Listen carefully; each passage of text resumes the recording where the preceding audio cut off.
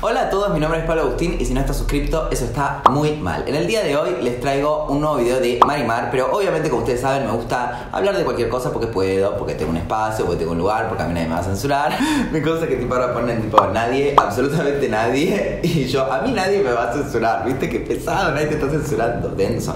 Me mudé, claro, claramente, claramente. Sí, sí, trataba. Rosalía. Los otros videos que vieron no me había mudado, simplemente me había ido a lo de Kimberly porque en mi casa hacía mucho frío y hubo una situación con una estufa y una tal Jimena. Yo no fui. Ahora sí estoy en mi nueva casa. Ayer invité gente a casa, chupamos, estuvo bueno. Mi departamento, ay, es hermoso, me encanta. Quieren que haga un room tour, pero me parece medio al pedo, porque es un departamentito, ¿viste? ¿Qué voy a mostrar? Este es el living, este es el cuarto, esta es mi mierda, esta es la mierda de Chester, este es el peluche todo vaqueado de Chester, ¿viste? Esto es un desodorante de ambiente que tengo en el baño. No, me parece medio, o sea, si les digo, el día que me mudo a una mansión, un cuarto para los juegos, un cuarto para los jacuzzi, 20 jacuzzi, un cuarto para- me parece que ahí es un poco más interesante, un room tour. A mí me gustaría verlo ahora. Es un departamento normal de una persona que vive en Capital Federal, que es. ¡Ah!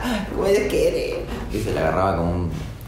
Sí, un, un Eso, ah, pará. Voy a estar, o estoy ya, en una sección nueva de Martín Sirio, que es Carolos en el bar. Es como polémica en el bar, pero con Martín Sirio, yo, Lizardo Ponce, Papri y Magalitajes. Divino, hermoso, me encanta. No sé cómo salió, porque todavía no lo grabé. No sé si ya lo vieron. No estoy seguro qué está pasando en este momento de la línea temporal, pero creo que va a estar buenísimo. Y si no estás suscrito, eso está muy mal. No, bueno, suscríbete igual, porque si estás viendo hasta este momento que ni vi Mar- Marimar y no me largaste ni una puteada. Bueno, si me puteaste, andate. Yo no te quiero que me coma la naranja, que me coma la naranja. Yo me como la naranja cuando quiero. Como quiero. Donde quiero.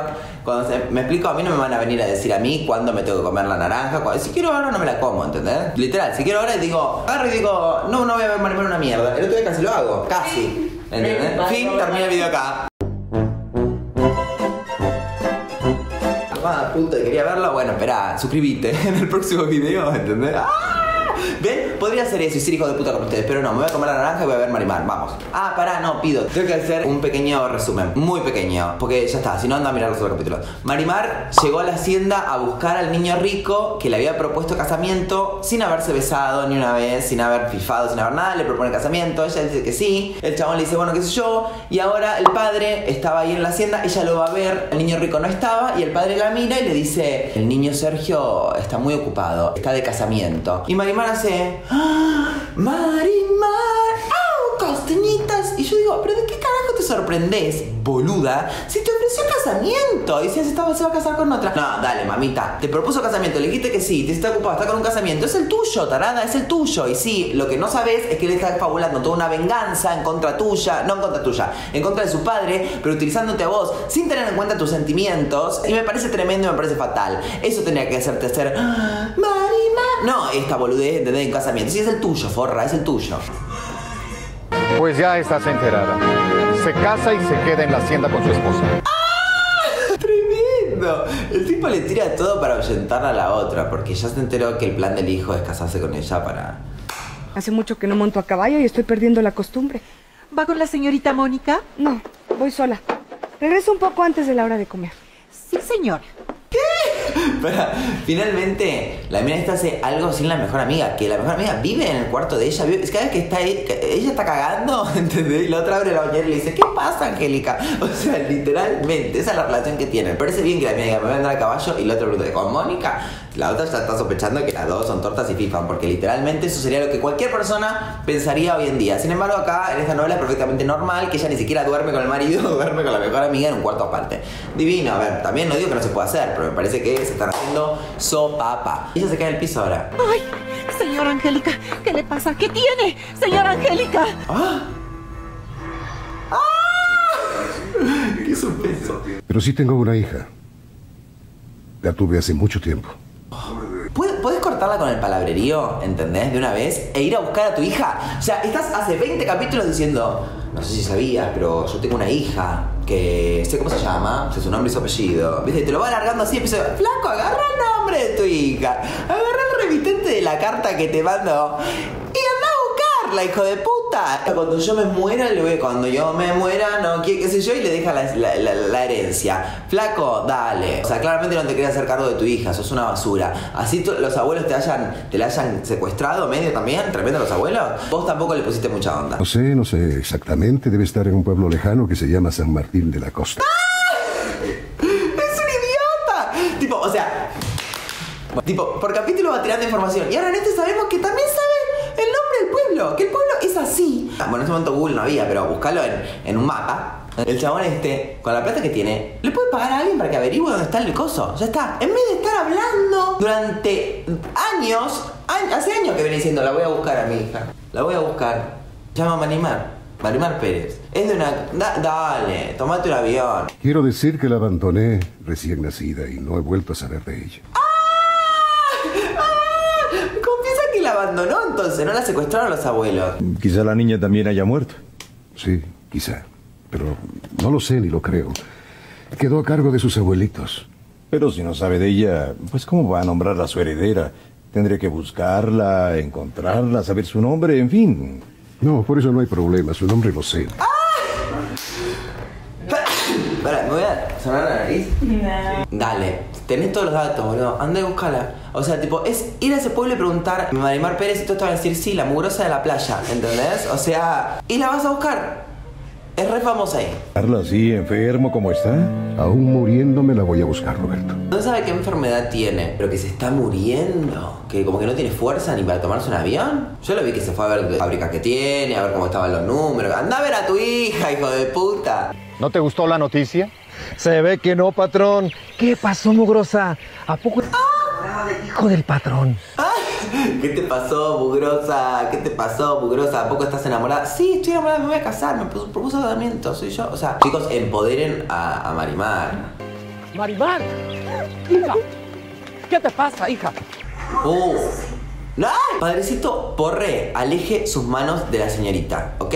Me parece muy violento, me parece que ya hace rato lo tengo montado en un huevo a usted porque cobra plata del Estado, para empezar. Eso me molesta un poco, pero quitemos eso, ¿no? Me parece que te estás metiendo mucho en la vida de una chica que no es tu hija, porque padrecito porre es una manera de decir, no es que sos el papá de todo el mundo, no sos el enviado de Dios, no tenés la respuesta de absolutamente nada. De nada. Entonces, si ella está llorando necesita su espacio, vos la dejás tranquila, no la agarrás del brazo y le preguntás qué te pasa. Si ella quiere, va y se confiesa. Si se le canta la concha. Sacá, sacaste ridículo. ¡Ah! No sé, pero estoy constantemente tan alterada y nerviosa por la situación de mi marido y su hijo. Ay, ¿sabes qué te pone nervioso? Ponerle no llegar al fin de mes, mudarte, ese tipo de cosas te dan ansiedad. Estás cagada en plata con un tipo millonario y vivís con tu mejor amiga que al parecer tienen relaciones sexuales. Mal no la estás pasando. Aunque quizás es eso lo que la angustia y la altera. La pone nerviosa el hecho de que ella es lesbiana en esa época y estaba muy unida a su mejor amiga, no podía confesarle y tenía que estar casada con alguien que no quería simplemente por el dinero. Y eso hizo que se desmaye. Ay, pobre, che, empatizo con la chica. Igual es tremenda, es tremenda. ¿Y si fuera una buena noticia? ¿Buena noticia? Quiero decir, un hijo. Ay, primero el dramatismo de Perfecta, me encanta, creo que es mi personaje favorito. Y después qué? Porque le bajó la presión una vez, tipo, un hijo. No, es como tipo, googlear te sale cáncer, ¿viste? Tipo, o sea, haber bajado la presión, pues se paró de golpe, qué sé yo, boludo. ¿Nunca les bajó la presión? Marimar. Ay, me encanta esta escena. Ella. Y se tira en la cama. No, Marimar. Gusta, te digo, ¿eh? Cómo actúa. Está súper exagerado, pero porque las telenovelas mexicanas son exageradas. Perfecta, viste que yo digo, un hijo, no. La novela es muy bizarra, pero ella me gusta actúa. No me han hecho nada. Nada.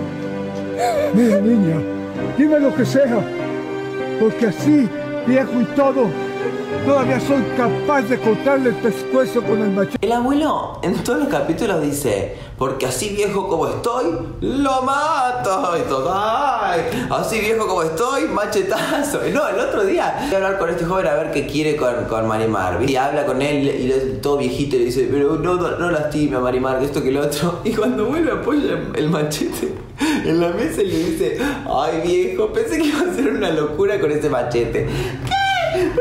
¿Pero qué pretendés entendía el abuelo, ¿entendés? Tipo, deja marimarlo. Abuelo, ¡ay, no! Señor, no. Se va a casar, abuelos. ¿Quién?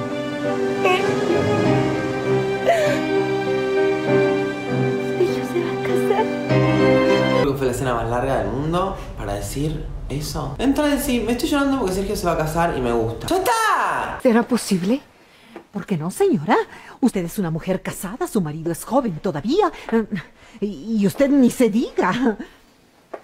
Mi hijo. Pero ella le pregunta perfecta, ¿puede ser? ¿Vos decís? A ver, mamita, si vos no sabés si te cuidás o no te cuidás y si estás teniendo relaciones o no con, con tu marido, perfecta que vas a ver. So- Si ustedes son muy jóvenes y los escucho fifar todos los días. Pues si ayer vos le decías, acábame la concha, acábame la concha, y ella, ay, cierto, qué loca. ¡No! No, hacete un evatés, no había en esa época. Pues vaya a ver al doctor y él puede decírselo. Sí, perfecto, tienes razón. Debo ver al médico. Cuanto antes, mejor, señora. Hoy mismo. Mi hijo. ¡Ay, no! Se empieza a aspirar. Nunca le gustó la idea de tener un hijo. Vuelven a habla- hablarlo con el marido. Tipo, de repente se, se le ocurrió que puede estar embarazada porque le bajó la presión y ahora está obsesionada. Un hijo. Ninguna tarada. Pero yo no quiero que se case. Ahora sí que la puerca torció el rabo. ¿Dijo? Ahora sí, la puerca torció el rabo. Demencia senil. El abuelo ya estaba, tipo, ya no, no había entendido. La, la puerca, cuando la puerca enderece su cola. abuelo, no, a ver, hola. Papá Pancho, no, no, tome la medicación. El hijo del dueño de la hacienda Santibáñez. Tú no puedes poner los ojos. Ay, ya no se le entiende a la vieja cuando habla, porque para los que no lo sabían, esa señora se murió hace años, la actriz. Y ya tipo no podía hablar en esa altura, estaba como... Y tipo, Animal estaba tratando de entender el consejo de la abuela. Y claro, después se manda toda la que se manda. Mejor no lo veas. Mejor no lo pongas nunca, ¿viste? Ese no es para ti. No lo veas más. ¿Le pueden dejar de, con- de meterse en la vida de otra persona? Por favor, chicos, cuando se empiecen a hacer cargo de sus problemas, ¿entendés? En vez de meterse en la vida del otro, les va a ir mejor a todos, ¿eh? Te dije que no fueras. Es que nomás fue a caminar. Sí, por caminar, por caminar, por verlo a él es que fuiste. No, por favor, a mí te juro que yo- O sea, parece que se van a morir en el set. Si no fuera porque ya sabemos el futuro y se murieron ese año. Pero pareciera, a mí me da cosas. ¿Qué van a cuidarme si no valgo nada? Yo no valgo nada. Nada. Marimar, calmate para empezar. Que un hombre se te fije en vos o no, no puede hacerte la autoestima. ¿Entendés? No es tipo, hace caso con otra, yo no valgo nada. Vos valés lo que vales. Y tenés que ver tus virtudes y tus defectos. Y en tus defectos, trabajar en ellos. Por ejemplo, no querer laburar. Si vos no querés laburar, que esto que lo otro, bla, bla, bla, Entonces, obvio que no vas a tener ni zapatos, ni ropa, ni ropa, ni nada por el estilo, porque estás en el sistema. No estás trabajando para nadie, no estás obteniendo ningún ingreso, ningún dinero. Entonces, cuando vos te pongas a laburar en esa partecita, vas a ver cómo vas a empezar a tener tus cosas. Y no vas a depender de casarte con un millonario, que igual es lo que te va a pasar, porque igual el matrimonio es tuyo, pelotuda, es tu casamiento. o sea, estás llorando al pido. Con mis abuelos.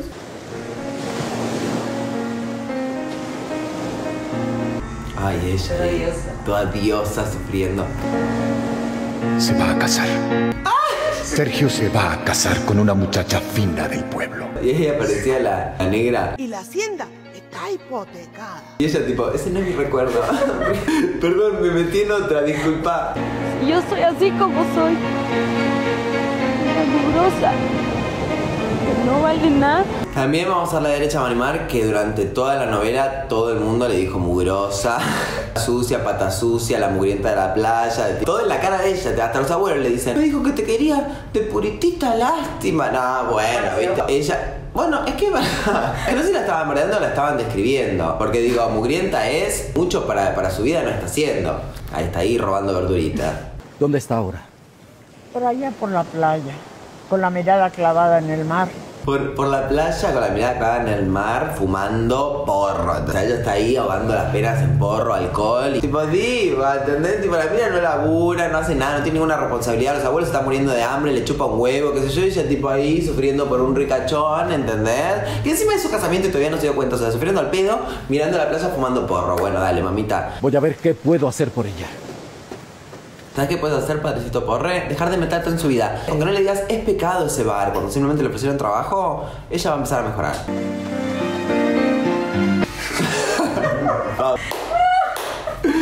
Padrecito porre, primero que tiene puesto, segundo, quítese ese sombrero. ¿Por qué tiene que andar en burro? Ese tipo salió de un cuentito. Padrecito. Si nos fijamos, tipo, el padrecito porre está vestido como una señora. O sea, tiene una cartera, ¿entendés? Tiene un vestido largo blanco, ¿entendés? Y una capelina. Padrecito porre, ¿usted quiere ser drag queen y no se anima? ¿Y decidió ser cura entonces? ¿Qué quieres? ¿Ocultarme que estás llorando? ¡Es una señora, boludo! ¿Cómo está eso de que estás enamorada del hijo del dueño de la hacienda Santibáñez? ¿Qué te importa, padrecito porre? Yo me enamoro de que se me canta el orto. Esa es la respuesta que tiene que dar Talía. Pero no, bueno, ahí el Estado estaba muy presente, muy presente, o sea, muy presente que se metía en la vida de tipo de toda la gente que iba a la iglesia. ¿no? ¿Qué soy yo? Talía, hice más de 20 novelas en todos los idiomas, la puta que te parió. Nos fuimos a un pequeño corte porque me olvidé de vaciar la memoria, pero ya estamos. Seguimos con la novela, hijo. Te amo, te amo. Mira cómo pone la emplápate ahí. Tipo, bueno, cállate. Bueno, nada, acá lo traigo a Chester que ustedes tipo también me lo piden y muchas veces no está porque no, no le gusta aparecer en cámara. Siempre una boda es algo bueno.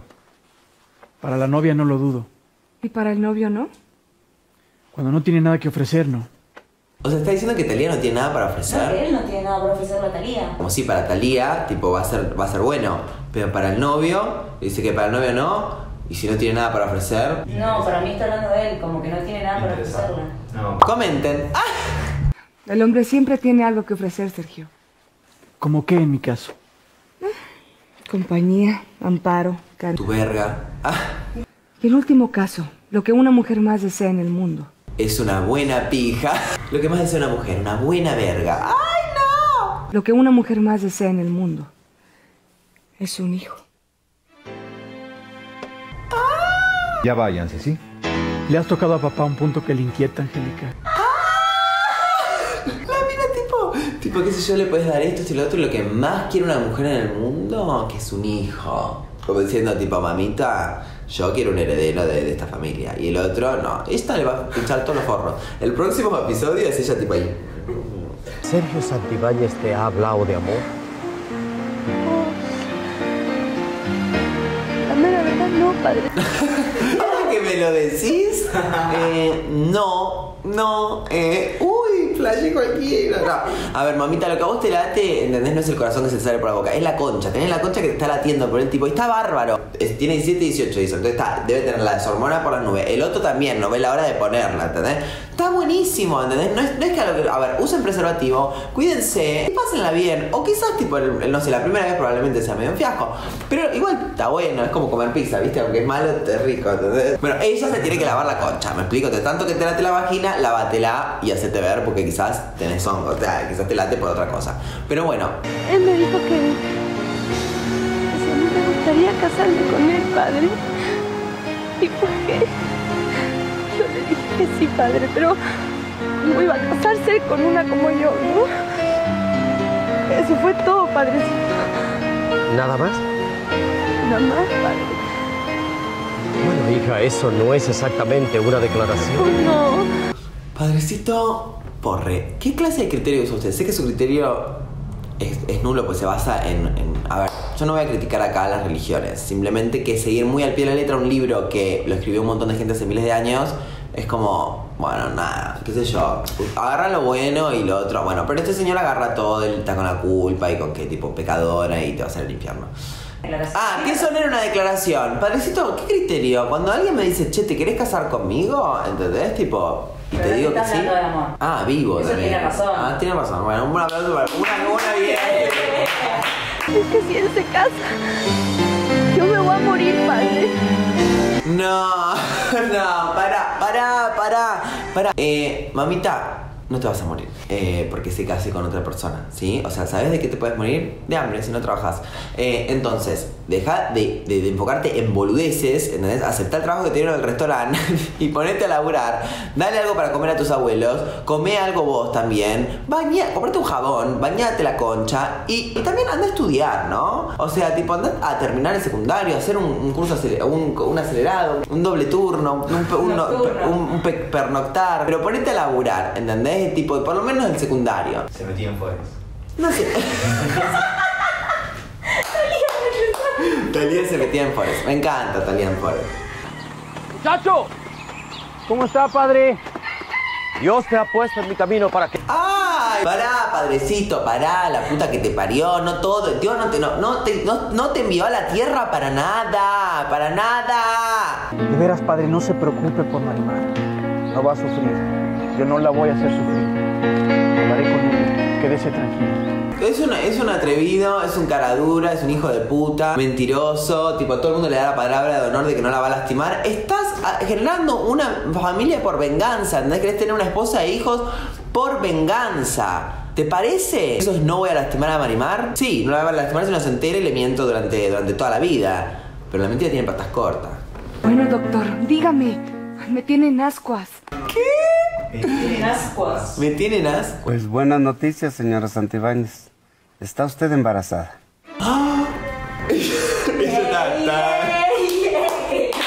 La fiesta, don't stop the party. Que no pare la fiesta, don't stop the party. Sí, sí, caía tipo globo, guirnalda. Sí, perfecta, tipo le bajó la presión y dijo, ¿quiero estar embarazada? ¡Ah! No, y la mina recién ahí se le ocurrió que quería tener un hijo. ¡Ah! ¿Un hijo? Y de repente está embarazada. Tipo, no. ¿Tú qué vienes a hacer aquí? Vine a verte. ¿Para qué? ¿Para decirme que te vas a casar? Sí, para eso. Pues entonces sácate. Sácate, no quiero volver a verte nunca más. Mira que te saques, te digo, me saco yo. No quiero llorar más. Pobrecita, ¿qué quieres? ¿Estás enamorado de esta bala perdida como me llaman? ¡Ay, pausa! ¡No, no!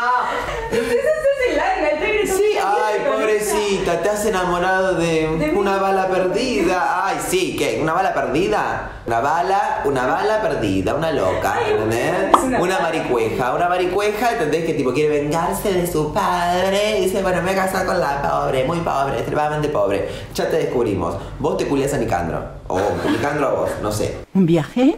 ¿A dónde, Gustavo? A San Martín de la Costa. Finally, vamos, vamos. Mi papá te mintió. Sí voy a casarme. Sí quiero casarme. Pero contigo. Bien, pero, o sea, decirle, mira, la verdad me quiero casar con vos porque estás, me pareces linda, te la quiero meter de acá a la garganta, ¿entendés? Hasta dejarte estúpida. Me parece que vos también, o sea, que podemos pasarla bien. Y de paso, la verdad es que quiero romper las pelotas a mis viejos, a mi viejo en realidad, y qué sé yo, porque son tremendos hijos de puta y me hipotecaron la hacienda, que esto que lo otro. Y lo que más odiarían es que yo me case con vos. Entonces, tipo, ¿te parece si le jodemos la vida y de paso cogemos? Y probablemente Taría hubiese dicho, dale, ¿entendés? Pinto, ¿viste? Después de agarrar, yo te regalo un terreno, una vaca, ¿viste? Bueno, hacen negocio, cogen divino. A- ahora, si le, no le vayas por el lado romántico de mentirle, de, ay, sí, me quiero casar contigo. Mira que mi corazón me hace así como pucutún, pucutún.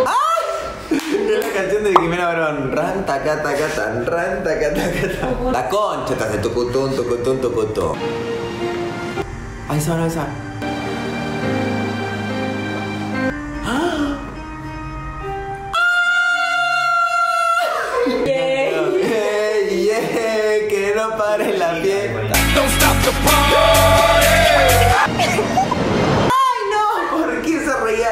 Una tarada? Bueno, ¿sabes qué? ¿Te acordás cuando te dije que si te querías casar conmigo? Me arrepentí, ¿ok? Dejamos así, gracias, chao. Que eres mi novia. De verdad, María. Soy tu novio y me voy a casar contigo. Y vas a ir a vivir a la hacienda Santibáñez. Ah, ahí la cara de venganza. Sí, Marimar, sí, te amo. Y vas a ir a vivir a la hacienda de Santibáñez. Tipo, dale, decirle todo. ¿Ves que se quiere vengar? Decíselo, boludo. Ábranse. Si querés que sea tu mujer, boludo. Ella es una pelotuda, es un banana. sos- sí, te- la verdad que les vaya como el orto. Ojalá que tipo que él le mienta, que haga la venganza, que ella se entere que probablemente lo que va a pasar. Ella se vengue de él, destruyan todo, traigan a un hijo al mundo. Para, para- para que todo arda, este, el pobre hijo, la verdad, pobre hijo que van a tener seguramente. Me parece un espanto, no quiero... eh, bueno, nada, a ver, la voy a seguir viendo. Pero simplemente porque quiero ver cómo les cae el karma con todo a esta gente, porque todos se han comportado bastante mal. Yo no, no, no encuentro ninguna persona con la que empatizo excepto con Perfecta, que ahora al parecer tiene poderes y sabe que la gente está embarazada. Eh, pero después me parecen todos unos imbéciles, eh, con una falta de respeto constante hacia el prójimo, ¿entendés? Y hacia uno mismo. Este, y les deseo lo peor. Acuérdense de suscribirse, seguirme en todas las redes sociales y nos vemos en el próximo video. Váyase tranquilo. ¡Ay, es un hijo de puta! ¡Es un hijo de puta! Porque ni siquiera el abuelo a punto de morirse que te viene a pedir por favor, tipo que se le murió la hija, que sé yo, que te cuenta toda la historia, que esto, que lo bla, y vos, yo no pienso hacerle daño, váyase tranquilo, tiene mi palabra de honor. Hijo de puta.